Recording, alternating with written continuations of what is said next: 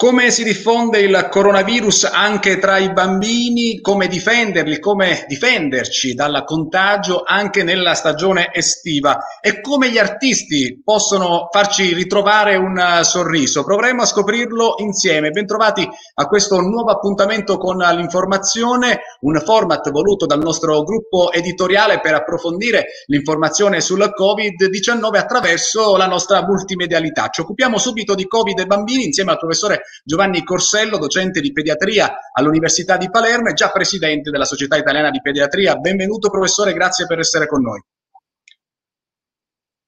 Grazie a voi, buon pomeriggio. Tra poco dialogheremo anche con un artista molto amato, l'attore Paride Benassai, con la sua simpatia proveremo anche a capire come gli artisti possono aiutarci a ritrovare un, uh, un sorriso. E allora, intanto, professore, ecco, dicevamo uh, Covid e bambini. Sicuramente, ecco, l'abbiamo detto anche in questi giorni, una notizia del, uh, di un bambino che eh, si è fatto male durante un centro estivo, uh, è stato soccorso in ospedale e per caso, facendo il tampone, che lo ricordiamo è obbligatorio quando si va appunto in ospedale, è stato scoperto che era stato contagiato, era positivo al coronavirus. E insomma, professore, lo vogliamo eh, ricordare e ribadire che i bambini non sono assolutamente immuni. Ecco, come avviene il eh, contagio anche tra i bambini, professore? Certo, i, i, bambini non sono immuni dal contagio, nel senso che possono contrarre il virus e quindi avere un'infezione. Sono eh, non immuni, ma hanno un rischio di malattia più basso perché pur incontrando il virus non sempre eh, sviluppano segni clinici e quando li sviluppano sono per fortuna dei segni clinici poco rilevanti sul piano clinico, nel senso che non sono gravi e si risolvono spontaneamente. Quindi il Covid-19 è una malattia che interessa in modo non grave i bambini. Questo è già una buona notizia, però i bambini anche sani, anche asintomatici, possono incorrere nel virus, contagiarsi e anche diffonderlo. Quindi non sono immuni, non sono vaccinati dal virus, hanno delle manifestazioni cliniche molto lievi e questo cominciamo a capirlo perché eh, intanto i coronavirus, anche che conoscevamo prima, davano nei bambini segni clinici molto sfumati. Anche questo nuovo coronavirus dà segni clinici sfumati perché i recettori verso questo virus sulle cellule dei bambini sono poco espressi, quindi il virus non riesce a penetrare in modo efficace dentro le cellule dei bambini. E poi il sistema immunitario dei bambini, che ancora non è completo, non è maturo come quello degli adulti, limita gli effetti della malattia non amplifica i segni clinici, quindi c'è una sorta di protezione naturale verso la, le, le, manifestazioni più gravi. Dal punto di vista dei dati epidemiologici questo è confermato perché su tutti i soggetti che si sono contagiati nel mondo la percentuale dei bambini varia tra l'1 e il 2%. E questa è una ecco, conferma di questo dato che... Sì ci sono, ecco, la conferma c'è anche del dato. Allora mh, si parla di stagione estiva, il, il, tempo in cui si prova ad andare in vacanza, eh, ci sono i centri estivi per bambini. Ecco, quali precauzioni, professore, bisogna adottare?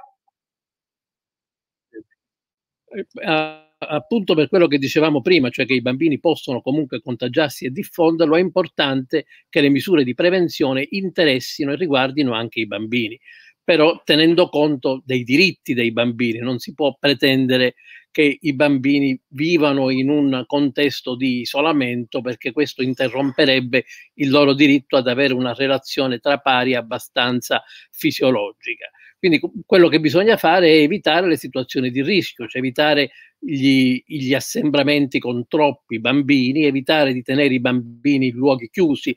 Ecco perché i centri estivi sono importanti, perché essendo all'aperto consentono di vivere un'attività relazionale in piccoli gruppi senza il rischio di contagiarsi. Quindi i centri estivi sono sicuri a patto appunto che non ci siano grossi assembramenti e che i bambini condividano delle attività e delle esperienze all'aperto. Perché diciamo all'aperto? Perché un altro dato che eh, si è consolidato in questi ultimi mesi è che all'aperto, soprattutto nella stagione estiva, il virus vive meno nell'ambiente, cioè viene eliminato più facilmente, la, ha una carica virale, una carica di contagiosità più bassa. Quindi la stagione estiva è effettivamente una stagione in cui è meno probabile contagiarsi e anche se ci si contagia la carica virale, quindi la potenziale aggressività del virus è ridotta.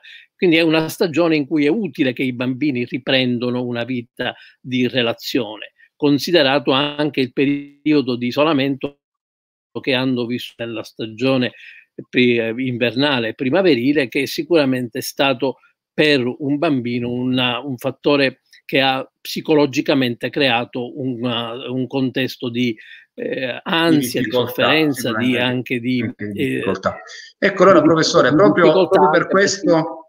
Ecco, allora, la scuola eh, adesso inizia a prepararsi, no, il mondo della scuola, per cercare di capire come eh, si potrà ripartire. Ecco, eh, su questo sarà anche importante una, um, un'attenzione dal punto di vista della campagna vaccinale. Ecco, come incide il vaccino anti-influenzale per cercare di aumentare anche le difese? Ecco, può essere utile? Sì. Eh, assolutamente sì, perché la scuola deve riprendere, i bambini, i ragazzi devono riprendere a settembre la frequenza scolastica, anche qui con delle precauzioni, cioè cercando di avere delle classi non affollate e, e eh, differenziando gli orari di accesso e di uscita in modo da evitare che ci siano dei grossi affollamenti negli stessi orari, cercando eh, di eh, adottare delle misure di distanziamento che siano compatibili con le attività didattiche, con le attività formative. E qui la sinergia tra il, i bambini, la famiglia e il mondo della scuola sicuramente io credo che riuscirà a garantire una ripresa scolastica in modo abbastanza eh, omogenea in tutto il paese, almeno questo è il nostro auspicio come pediatri, perché la scuola è un'esperienza formativa di grande importanza per lo sviluppo dei bambini. Ecco, su questo ad esempio le mascherine, se ne è parlato tanto, no? le mascherine in classe, le visiere, ecco, cosa si può dire? Le, le, le mascherine in classe, se c'è il distanziamento e se le classi non sono affollate, non servono affatto. Le mascherine possono servire nei momenti di arrivo, di uscita o quando ci sono delle attività che prevedono necessariamente un numero di soggetti in una, eh, elevato in una stessa ambiente, quindi un'assemblea, una conferenza. Allora lì in quel caso i bambini oltre i sei anni e i ragazzi devono indossare le mascherine come gli adulti.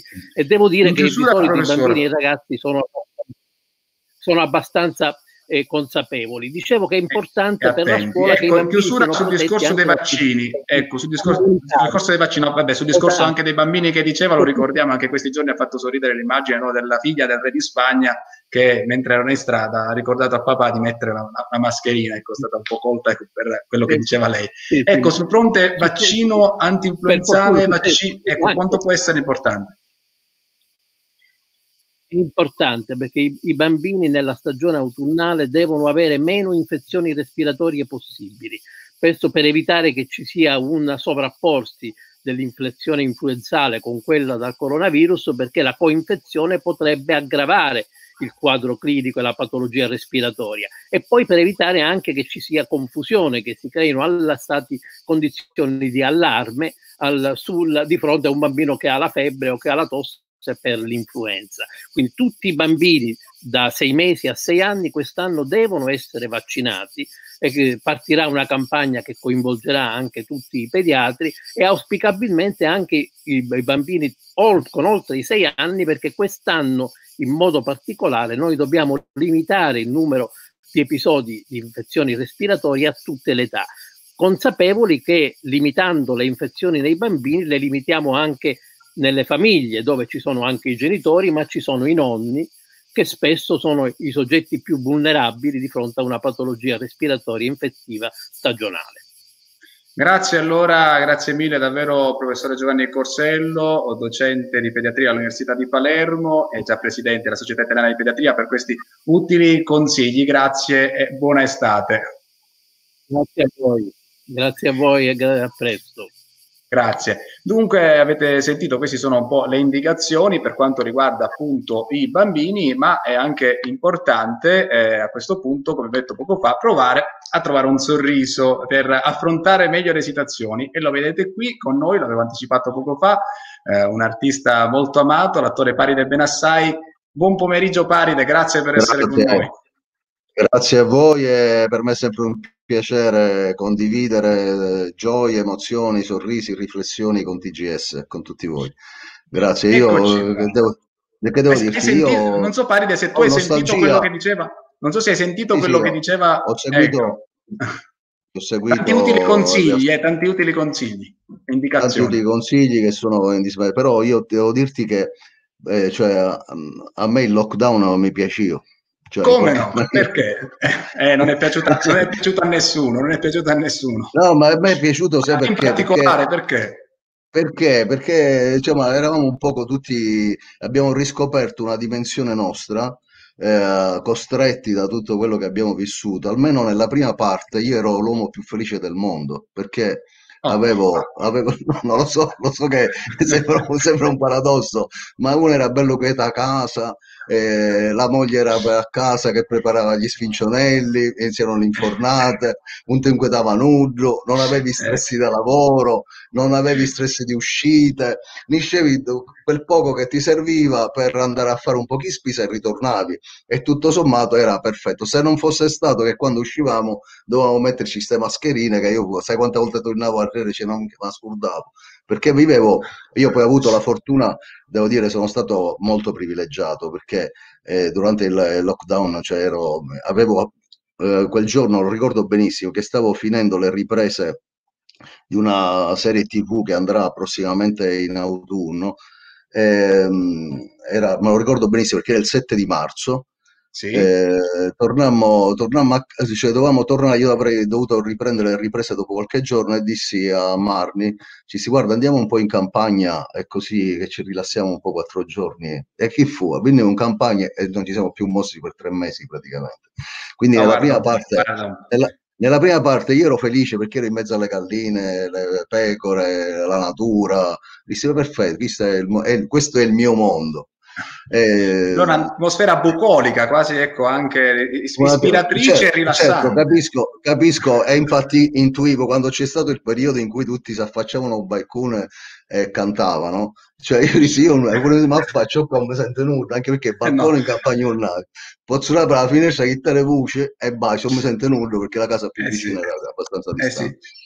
Quindi diciamo, eh sì. tutto sommato Uh, poi dopo un po', come tutti, ovviamente abbiamo sofferto quella che era la mancanza di libertà, la restrizione di tutte, insomma, tutte la, l'incapacità di vivere i propri affetti, di vedere i propri amici.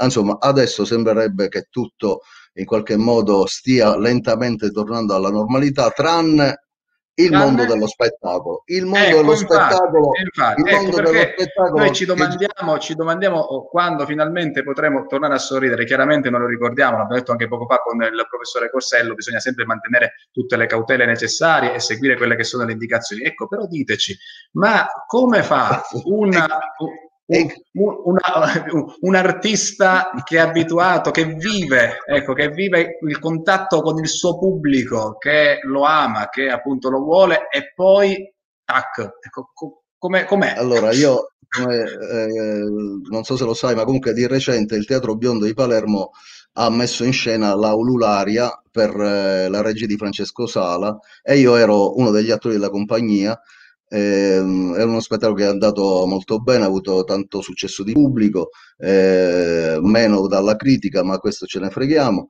E, no, perché in genere c'è un mio amico che dice se la, se la, critica scrive male vuol dire che al pubblico piace, insomma era vero in qualche modo. Però quello che accadeva, a proposito per rispondere alla tua domanda, eh, come sai le normative sono abbastanza farraginose, cioè in uno spazio dove possono andare immaginiamo come in questo caso eravamo all'Orto Botanico di Palermo proprio di fronte la, il vostro giornale di fronte a noi, sì, sì, in via Link. Ehm, Anzi, potevate venire a fare un servizio, tanto scendeva la telecamera, ci voleva attraversavi la strada. Ma noi l'abbiamo lanciato allora, drone. Allora, la capienza, diciamo, le, le normative davano 150 posti, ma, la, ma eh, la possibilità di mettere insomma in questo spazio qua 150 posti, ma era necessario invece alloggiare 350 sedie. Quindi di mm-hmm. fatto noi, diciamo, tutti quelli che stiamo per ora ritornando in teatro, e il Teatro Biondo è stato eh, uno dei primi diciamo, teatri in Italia a riaprire dopo il lockdown. Adesso piano piano si stanno riaprendo tante cose.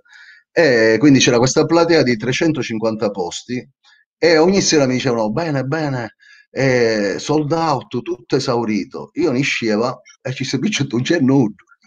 Perché, eh, perché, proporzioni, perché diciamo che è tutto relativo, la teoria della le proporzioni, le proporzioni, le proporzioni erano 150 posti a sedere che è il massimo della capienza, ma 200 sedie vuote e quindi sembrava che i cristiani non erano cioè che credimi è, è, è una sensazione angosciante perché tu vedevi proprio il pubblico perché poi i, i, congiunti possono stare vicini e qua mi faccio una domanda dico io mi ecco, vediamo, vediamo la domanda ecco perché questo sui congiunti si è parlato tantissimo pare ecco vediamo eh, eh. anche la riflessione di Paride Benassai sui congiunti i, I, congiunti sono quelli che ti fanno venire i niebe, cioè perché uno non è che forse il, il congiunto è uno della famiglia, perché ci, ci sono famiglie che si scerriano, si tirano i eh. piatti, cioè non si può bere. Eh, e invece ci sono diciamo, situazioni affettive, pur non essendo familiari, che hanno invece un valore. Metti, immaginiamo un'amicizia che, che, dura da quando si è ragazzini, cioè io ho degli amici che ringraziando il cielo conosco da una vita, o uh, storie di, uh, di, amori e di situazioni in cui i fidanzati, la gente che non è sposata ma che convive, eh, tutta una serie di dinamiche che infatti il, il, diciamo, il, nostro governatore ha dovuto correggere nel corso, cioè spiegare, dice ma secondo te tu come mi vedi, congiunto o mi vedi congiunto? Dice, io oggi mi sento... C'è stato un po', ecco, un po' di, di, di necessità di chiarimento, ecco.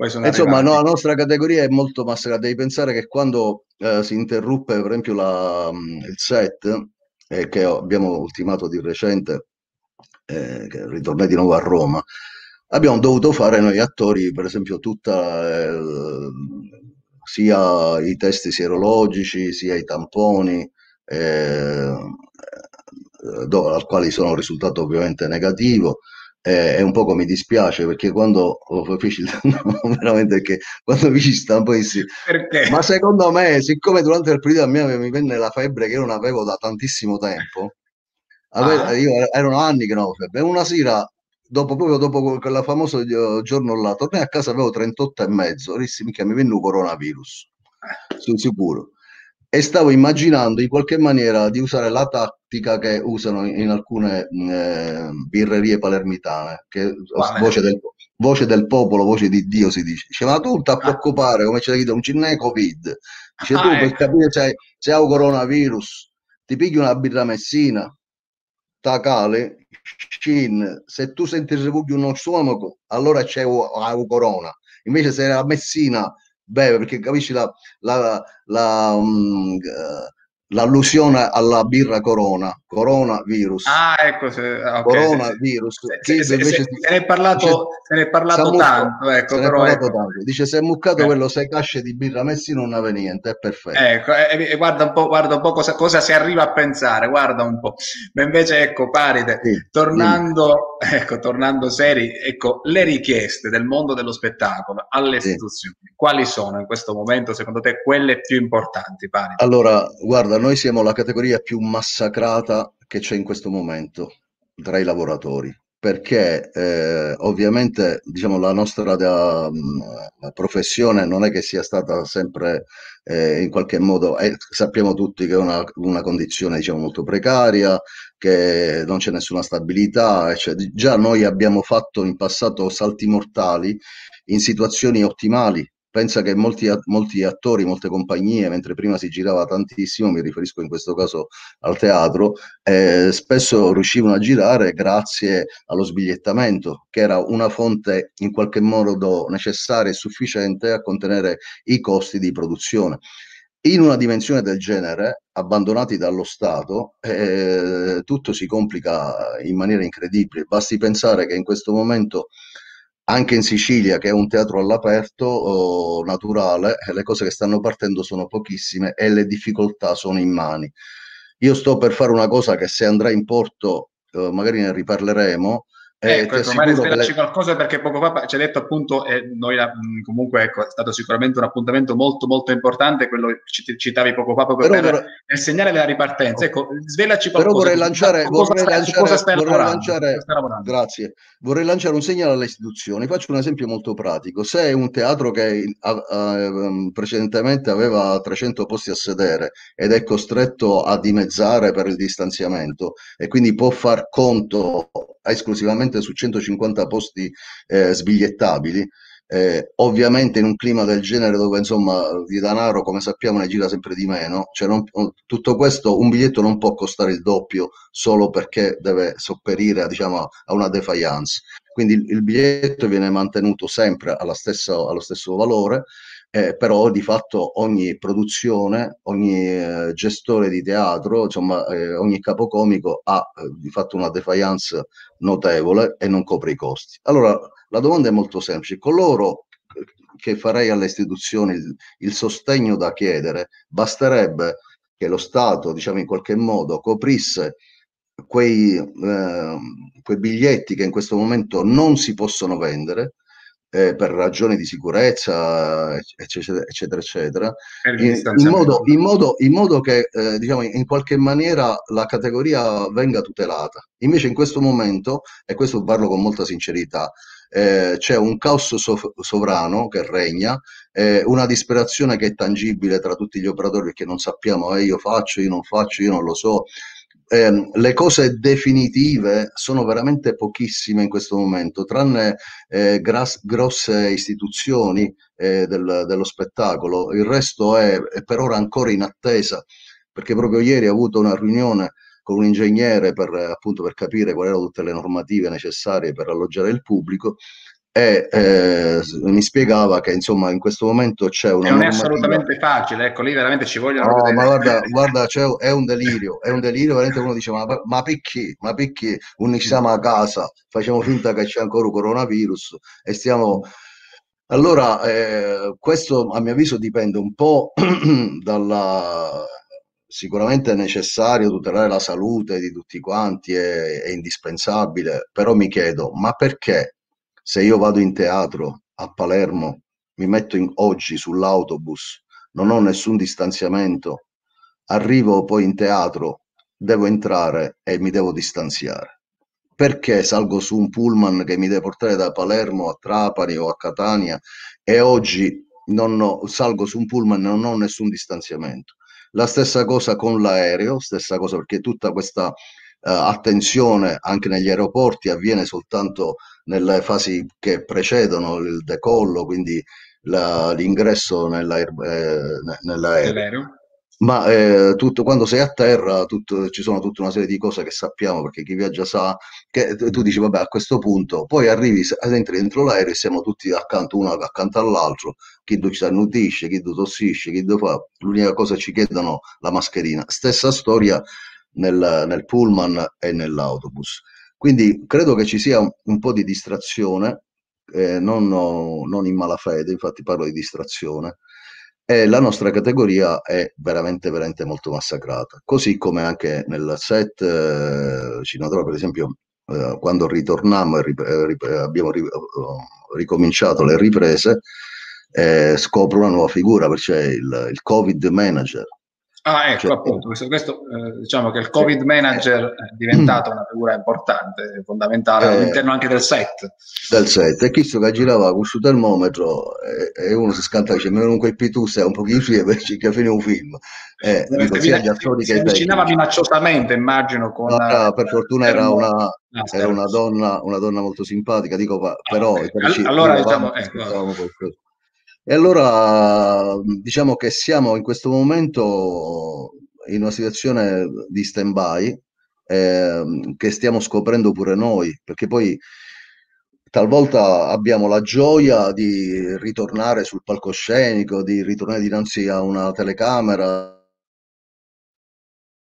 a una macchina presa, poi invece ci sono tutta una serie di restrizioni che rendono ancora più precario un lavoro che era già precario. Ma questo, e questo credo che di dirlo con cognizione di causa e tutti i miei colleghi, eh, tra di noi ne parliamo, insomma, il, il comune denominatore è questo.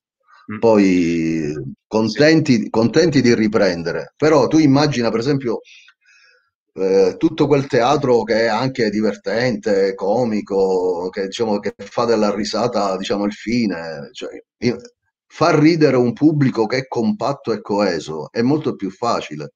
È, è, come dire, è più facile far ridere 100 persone che stanno assieme che uno assettato che da lì diciamo fammi ridere e tu dici, vabbè, eh sì, eh sì.